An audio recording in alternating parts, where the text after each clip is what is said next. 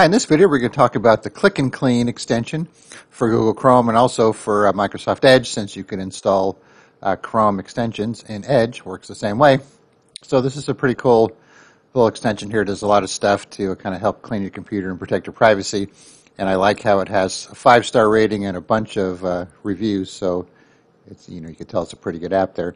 So once you go to the page, so I'll put a link in the description by the way, then you just click on Add to Chrome like any other extension.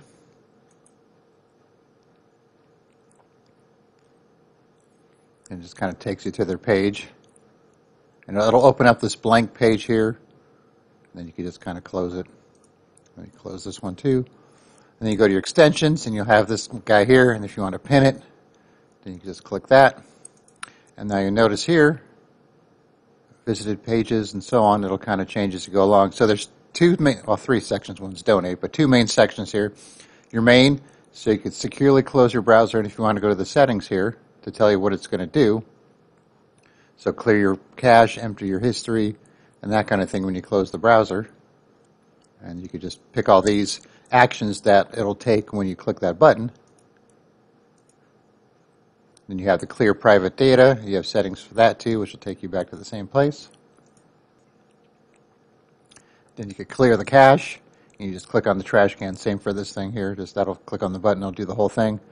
Click on this give you some tips, and that'll close all the tabs, and this will take you to the settings, or you can just clear all the data from there. Clear your history. So if you do scan for malware, it'll, it'll take you to this page here, and then I want you to do a quick scan using the uh, Windows uh, Security Center here. You click on that. And it'll just take you to where you can do a scan there. Privacy test. I'll just kind of check your IP and see if you have if you're logging into Facebook and Google. Uh, clear out your cookies. So you can kind of you know if you don't if you want to clear everything, you could do you know all this stuff. But if you want to just kind of do cache history cookies separately, you could do that. Uh, memory. This is not too helpful unless you know what you're looking at here. Just kind of show you the uh, system memory being used here. Downloads. It'll show you your downloads, take you to your downloads page, and then you can manage them from there. Or you could have it uh, delete your download history.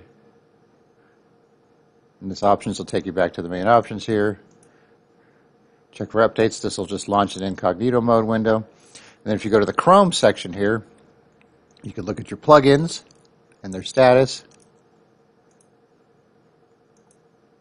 You can see what extensions you have installed. So there's the new one we just did there. If you want to open the experiments page where you could search for you know experimental features, that'll take you right there. So that's pretty much like going to the Chrome's flags uh, address there. Network stack, we're not going to read DNS settings. If you want to clear your resolver cache, View your history. You got your cache here too. Password generator if you just want to generate a random password, just if you need something like that. Uh, conflicts. You know, some of the stuff, you know, handy. Some of it's not so much, or it might be to you. Check for bugs. So kind of open up the Chromium bug page where you can kind of see any kind of bugs in Chrome. So, yeah, it's a pretty useful thing there, especially if you want to just do this. This one here is pretty useful, securely close your browser. So if you want to do that every time you close it or when you're done to just kind of wipe everything out and clear it all out.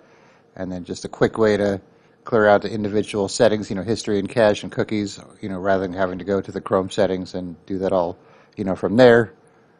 And like I said, the Chrome buttons here, you look at your plugins and extensions and history and so on. So once again, I'll put a link in the description. Just download it, and if you like it, good. And if you don't like it, all you got to do is go to your extensions uh, little icon here, click on Remove from Chrome, and then it'll be gone. All right. Thanks for watching, and be sure to subscribe.